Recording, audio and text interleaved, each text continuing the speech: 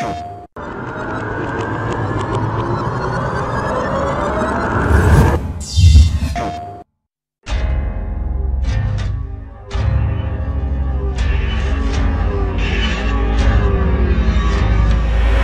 focus of this game has always been about these characters, and every decision we've made ha uh, has always been how do we show off this relationship? How do we show off this bond? How do we build Joel and Ellie over the course of the entire game and get you to care about each character and then how they relate to one another?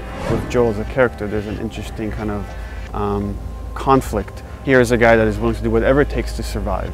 And we really wanted to show in this world there aren't necessarily good guys and bad guys. There's just people trying to survive, and Joel is just one of those people.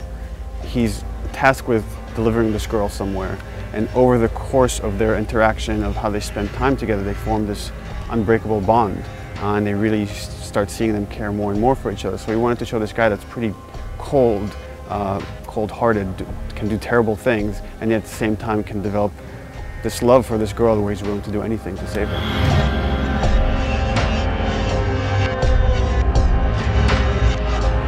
Well, it all started when uh, we saw a documentary about uh, this uh, fungus called the cordyceps.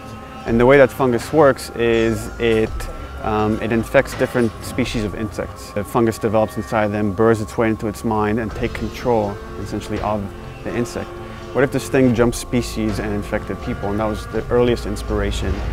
So that was a really beautiful jumping off point to us because we thought we could do something unique. It wasn't just your typical ambling zombie sort of thing, but we can actually have some science behind it and ground these things. And we don't want to just make the typical like uh, ghoul.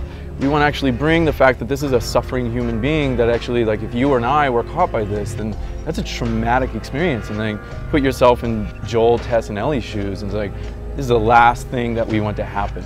These two stages, these two classes of infected that you're seeing, there's the runners. Um, and they still have a bit of vision, so they could kind of see you if you're moving around. You have to kind of watch out where they're looking.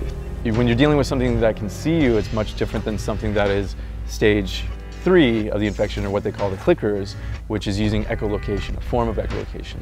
And then the clickers, it's all based on audio. So you have to make sure you're not making a lot of sound, you're not breaking a bottle, you're not doing something that will draw them to your location.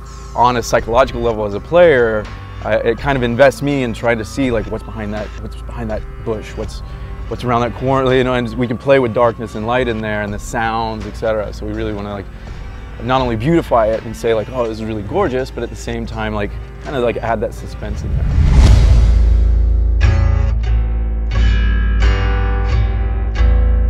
What you want to see is the contrast between the stark reality of the military city and that oppression versus like nature reclaiming the earth, what, what nature has done over 20 years, what the military has done fighting back the infection just to, just to get this small little hovel, like the, keeping their walls and their people contained, like, okay, we're safe, keep that locked down.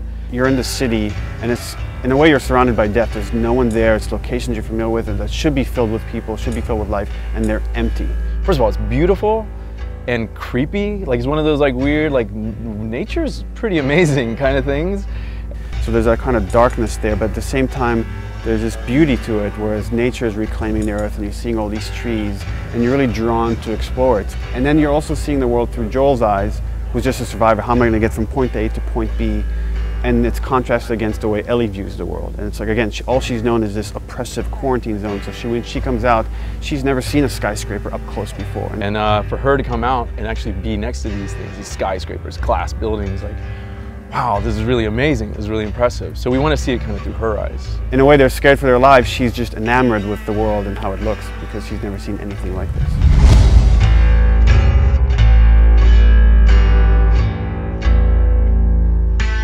I'm sweating. I'm sweating and I'm actually enjoying and I know how to play these things and every single time a new emergent situation like uh, exposes itself.